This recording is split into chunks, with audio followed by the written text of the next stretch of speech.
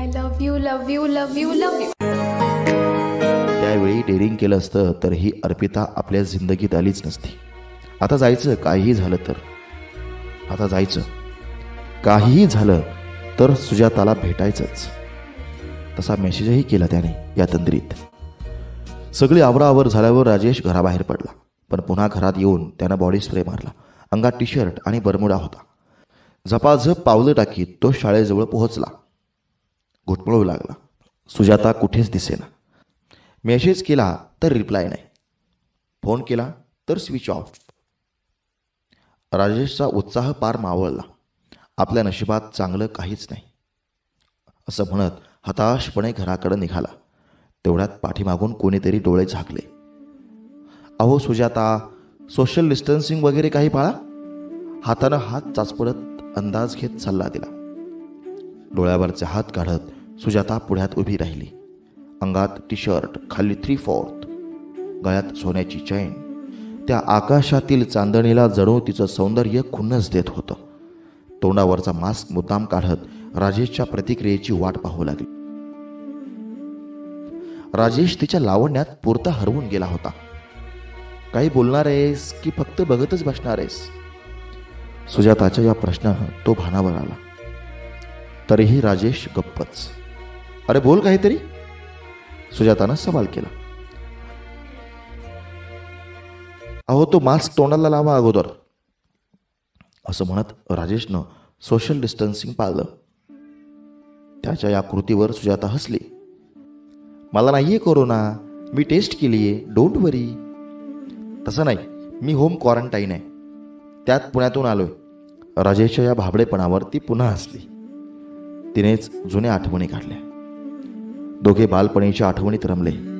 त्यांनी जसजसं काळाचं अंतर कापलं तसं दोघातील डिस्टन्सिंगही संपवून गेलं. बोलत बोलत ती दोघं नदीकडं कधी आली त्यांनाही कळलं नाही. समोरच्या उजाड पात्राकडे पाहत सुजाता खो खो हसायला लागली. राजेश गोरामोरा झाला. अहो सांगा असं हसायला काय झालं? तरीही सुजाताचं हसणं काही बंद झालं नाही. अरे आपण चौथीत असतानाचा किस्सा आठवला. कोणता? या नदीत पोहतानाचा.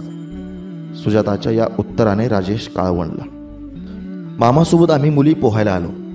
तेव्हा सगळी मुलं पळाली परंतु पाण्यातच. मामानं तुला पाण्यातून बाहेर यायला सांगितलं तरी तू काही बाहेर येत नव्हता. मामा पाण्यात उतरला छडी घेऊन तेव्हा तू पळालास नाकडा. किती मजा घेशील माझ्या गरिबीची. त्यावेळी कसली आली अंडर पॅन्ट अरे यार नको सिरियस हो सगळ्या मुलींनी डोळे झाकून घेतले. पण मी नाही. त्यात काय एवढं?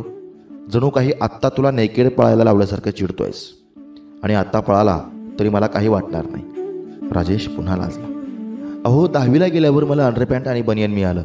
पण आता त्या गरिबीत नका नेऊ मला. हसणारी सुजाता एकदम गप्प झाली. तेवढ्यात दोन कुत्री धावत त्यांच्या दिशेनं आली. तशी सुजाता राजेश असं ओरडत त्याला बिलगली. राजेशनं तिचं डोकं छातीला कवटाळत थोपटायला सुरुवात केली. बराच वेळ झाला तरी सुजाता त्याच्या कुशीतून बाहेर यायला तयार नव्हती. राजेशही आतून बाहेरून मोहरून गेलेला. पण तो लटकच म्हणाला गेली ती कुत्री. तरीही सुजाता बिलगलेलीच. तेवढ्यात राजेशच्या खांद्यावर तिची आसम ओघळली. राजेशनं तिचा चेहरा दोन्ही ओंजळीत घेत काळजीने विचारलं काय झालं? काही नाही. विषय टाळत सुजाता म्हणाली थोडी भीती वाटली. राजेश आश्चर्यचकित होत म्हणाला वाघिणीला भीती आणि तीही कुत्र्यांची? सुजातानं विषय पलटवला. चांगलं बोलतोस की आता नाटकातील अभिनेत्यासारखं? पण मी ऐकले कलाकार चित्रातून बोलतो.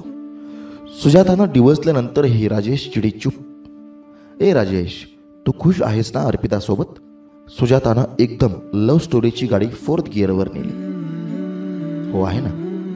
राजेशनं आतलं दुःख आतच लपवलं. आणि तिलाच प्रश्न करीत म्हणाला तू असं का विचारतेस? सुजातानं विषय पुन्हा बदलला. ए तू सुभानरावाच्या पोराला का मारलं तेव्हा? कुठून आली होती आमच्या हिरोत एवढी डेअरिंग? जाऊ देत नाही. बालपणीच्या गोष्टी त्यांना प्रौढपणाचे अर्थ लावू नये माणसाने. तसं केलं तर अनर्थच घडायची शक्यता अधिक. अर्थ आणि अनर्थ जगासाठी असतो राजेश. मन मारून जगण्यात कुठला आलाय अर्थ? सुजाता थेटपणे बोलली. राजेश निरुत्तरच. मला माहिती आहे कबड्डी खेळताना मी पडले आणि माझा स्कर्ट वर गेला. तुम्हा मुलांसाठी मुलगी अशी असहाय्य म्हणजे मोठी पर्वणी द्रौपदीसारखी निर्वस्त्र झाल्यासारखं वाटलं मला. माझी निकर पाहून सगळे फिदी फिदी हसायला लागले. मुलगी कितीही डेरिंगबाज असू देत पण तिला लाजावंच लागतं चार चौघात. त्या नेणत्या वयातही मला तो अपमान जिव्हारी लागला. मी त्या क्षणात दोन क्षणात सगळ्यांचे चेहरे निहाळले. त्या वयातही कामाग्नीने पेटलेले. मात्र तू एकटाच त्या गर्दीत असा होतास की तुझ्या चेहऱ्यावर क्रोधाग्नी होता. त्याच रागातून तू सुभानरावाच्या पोराचं दगडानं तोंड फोडलं. कारण तोच या कृत्याचा करता करविता होता. एवढं प्रेम करायचं माझ्यावर पण कधी एका शब्दाने बोलला नाहीस. तेव्हाही आणि आताही. अहो काय बोलताय तुम्ही? माझं लग्न झालंय. मला एक मुलगी आहे आणि त्यांच्यावर माझा जीव आहे. डोळ्यातील आसव लपवत राजेश उत्तरला पण तोच जीव गुदमोरतोय आता. हे खरं ना?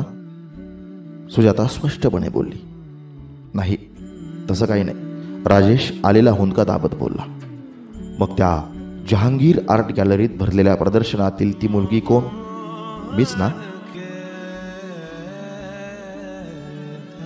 कलाकार अशा अनेक अमूर्त प्रतिमा साकारित असतो. त्यातीलच ती एक. नाही मुळीच नाही. त्या प्रतिमेच्या प्रेमात असतो. तेव्हाही डेअरिंग केलं नाही आणि आताही. कबूल कर आता तरी. तुझ्या अशा अबोलपणामुळेच तू गुदमरतोस मला काळजी वाटते रे राजा तुझी. माझं तेव्हाही प्रेम होतं आणि आताही आहे. त्या प्रेमवेळातून मी किती पत्र लिहिली पण तुला एकाचंही उत्तर द्यावं वाटलं नाही. पण मला कशी मिळाली नाहीत ती पत्र? या आविर्भावात राजेश तिच्याकडं पाहू लागला. मी चौकशी केली. पोस्टमननं ती सर्व मामाच्या हवाले केली. तू पुण्याला गेला आणि सर्व संपर्कच तुटला. राजेशला आतून मोहरून आल्यासारखं झालं. पण तरीही तो मनाचा हिया करून बोलला आता त्याचा काय उपयोग? आहे राजेश उपयोग आहे असं म्हणत ती जवळ आली. तिनं राजेशचा हात हातात घेतला आणि कुरवा आला त्याचं हलकं चुंबन घेतलं. राजेशच्या अंगावर शहारे आले. त्यानं डेरिंग करत तिला जवळ ओढलं कुशीत घेतलं. या एका गोष्टीसाठी आपण पंधरा वर्ष घालवली असं त्याला वाटायला लागलं. जरा वेळानं त्यानं तिचा चेहरा हातात घेतला आणि विचारलं इतकं प्रेम करते माझ्यावर सुजाता. हो ती हलकच बोलली. तिने लगेच त्याच्या हाताचं चुंबन घेतलं. हा घे पुरावा. राजेशनं मास्क काढला आणि आवेगानं तिला मिठीत ओढलं. राजेशच्या डोळ्यातून गंगा जमुना वाहत होत्या. त्याचा जलाभिषेक सुजाताच्या मानेवर होत होता. कितीतरी वेळ ते निशब्द. तरीही सुरू होता तो प्रेमसंवाद. दोन्ही हाताने तिचा चेहरा ओंजळीत धरीत न्याहाळू लागला. आणि हलकेच ओठ तिच्या हातावर टेकवले. मग दोघेही प्रेम अधीर झाले. दोघांनाही स्वर्ग सुखाची अनुभूती यायला लागली. ती त्याचं सर्वांग चुंबायला लागली. जणू काही यमुनेच्या तीरावर कृष्ण राधा यांच्यात रासलीला सुरू असल्याचं राजेशला वाटून गेलं.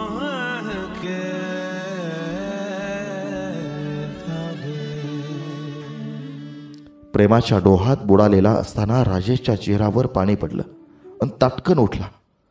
समोर उभी होती अर्पिता. डोळे चोळीत पुन्हा एकदा त्याने तिच्याकडे पाहिलं. अंगावरचं पांघरून सारून तो उठून उभा राहिला अपराध्यासारखा. शाळेकडे जाऊन आल्यानंतर त्याच्या मनानं हा प्रेम प्रवास केला होता. नंतर तो फ्रेश होऊन कामालाही लागला पण त्याच्या डोक्यात राहून राहून प्रश्न येत होते. सध्या ती काय करते? अशोक निंबाळकर. अठ्ठ्याण्णव चौतीस ब्याण्णव शून्य शून्य चौऱ्याऐंशी. मित्र हो ही कथा आपल्याला आवडल्यास जरूर आपल्या मित्रांपर्यंत शेअर करा आणि के पी लाईव्ह चॅनलला आताच सबस्क्राईब करा. धन्यवाद.